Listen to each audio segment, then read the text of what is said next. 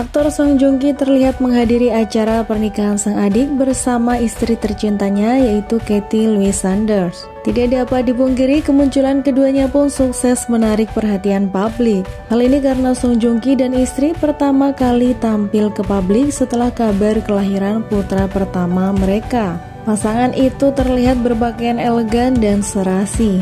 Song Joong Ki terlihat memilih gaya rambut dengan poni yang membuatnya terlihat awet muda. Mereka berhasil menyita perhatian karena aktor 38 tahun itu terlihat mengagumi istrinya. Bahkan ia tampak tak mengalihkan pandangan darinya.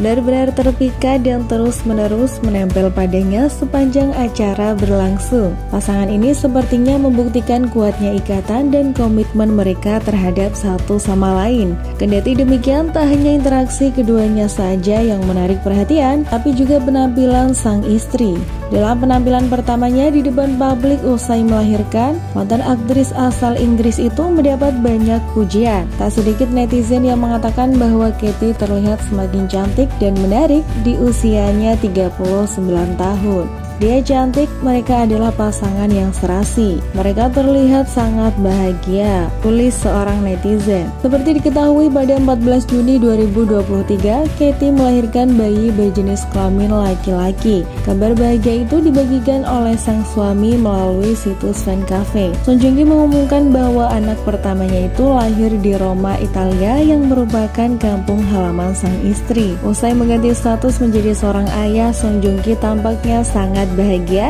karena tak henti mengucapkan rasa syukur. Demikian informasi dari kabar Drakor hari ini, semoga bermanfaat. See you and bye-bye.